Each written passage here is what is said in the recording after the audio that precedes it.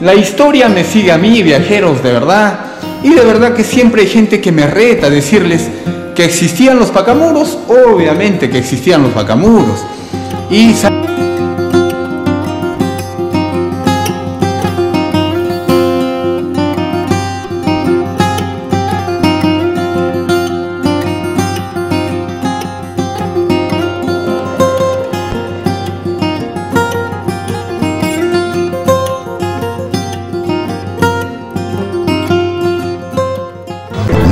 la película. Vívela. Visita Perú. ¿Saben que les voy a contar algo? Mira, yo estoy ahorita justamente en el Museo 4 de Junio.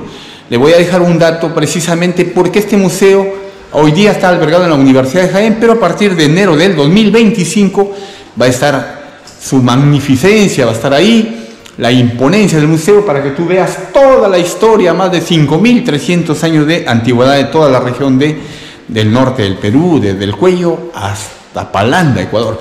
Así que viajero, mira el rostro que estás viendo acá. Es el bravo Pacamuros. Mientras yo te voy mostrando el bravo Pacamuros en una escultura, te voy contando más o menos por qué el bravo Pacamuros. ¿Por qué se llama Pacamuros? Les cuento algo mientras la, escultura está atrás.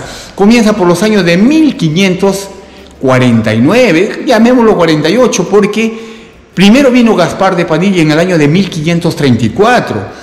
Se instaló en Santa Rosa de la Yunga, en el lugar del molino, donde le puso eh, Jerez de la Frontera. Y posterior vino, vino hasta Tabacal. Y por cuestiones del virreinato se fue y ya no regresó. Ya en el año de 1549 recién vino, ¿quién? Diego Palomino.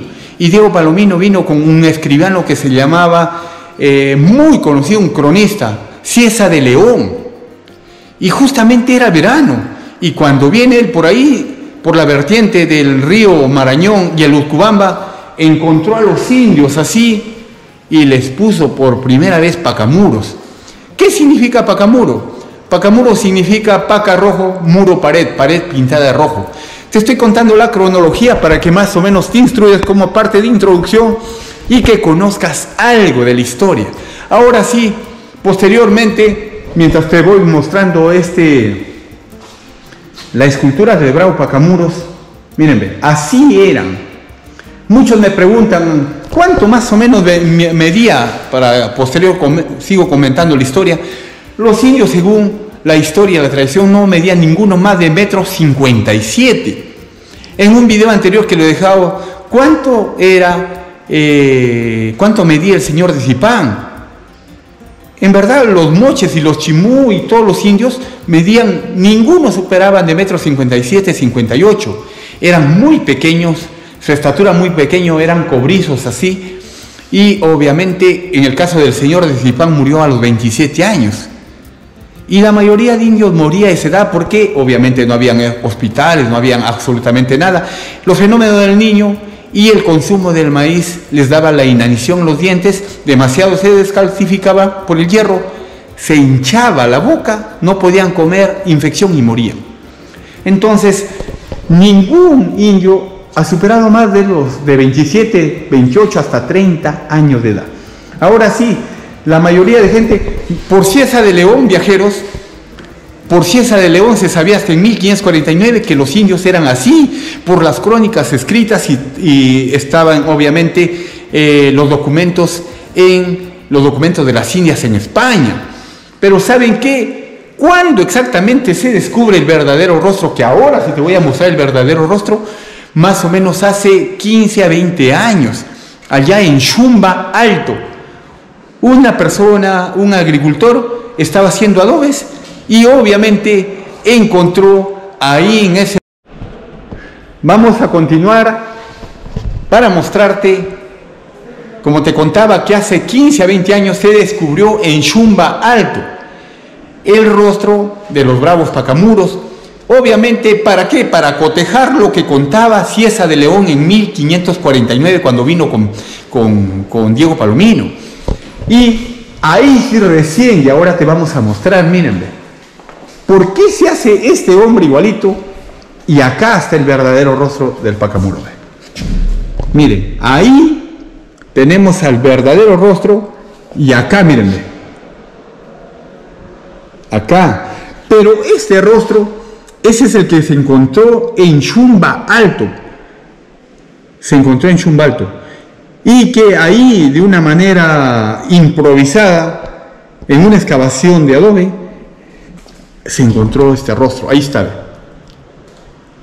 Pero un datazo viajero más, un datazo cronológicamente para ir contándote sobre el rostro verdadero de, los pacamuros, es que más o menos a, unas, a unos mil metros, ahí se han encontrado más de mil ruecas pegadito a la pista en Chumba Alto, se han encontrado ahí más de mil ruecas, quiere decir que ahí había un asentamiento, un asentamiento de tejedores, porque se han encontrado cantidad de ruecas, es decir, era un, asentamiento de tejedores, viajeros. Así que ya, mira, ya te conté algo, vamos a describirte, mira cómo era el metro 57, eran muy pequeños, totalmente indomables, aguerridos, y que según la historia andaban en hordas, en grupos, andaban según la historia, y que para los incas nunca pudieron conquistarlos, porque un día estaban acá y pasado estaban en nuestro grupo, no tenían una verdaderamente estabilidad ellos, no, no tenían una verdadera estabilidad, andaban... Ahora si viajero ya conociste el rostro, algo de la historia, imagínate, 5.300 años de antigüedad, hubieron muchas, muchas poblaciones hace desde 20.000 años. Y obviamente lo más enigmático era conocerlos a ellos. La Huaca Montegrande es el templo de adoración, se cree que ellos iban ahí a hacer sus ofrendas, a hacer sus ritos, todas las cosas que, tenían que ver con la cosecha, con el sol, con la luna, con las sequías, tenían sus pitonizas, exactamente no se sabe cuántos sacerdotes vivieron ahí, pero lo que sí se cuento cronológicamente que ellos vivieron y que eran exactamente así, por la evidencia encontrada hace 20 años y que Ciesa de León siempre lo dijo. Nuevamente regresamos al rostro ahí, y ahí hay otro también allá, y este es el que, nuevamente, como te digo, que se encontró en Chumba Alto. Así que viajero, ya sabes, ya te mostré verdaderamente el rostro de los pacamuros. Yo te invito a que te suscribas a la página de Perú para viajeros en Face, a Clay Alcor en Face, a Clay Alcor en Instagram, en TikTok también y al canal de YouTube como Clay Alcor. Suscríbete, comenta, comparte viajero. Te dejo verdaderamente con el rostro que se hizo esto ya con, obviamente con el descubrimiento de hace 15 años y con la crónica de Diego Palomino en 1549. Servido viajero, prontito el museo ya de 4 de junio, en enero, febrero, ya está ahí para que tú lo visites a 5 minutos de la Plaza Central de Jaén. Todo, un museo completito, unas reliquias hermosísimas y tú puedes venir. Aquí sí, así que servido, te dejo en esta toma de este impresionante y con la otra toma del encuentro.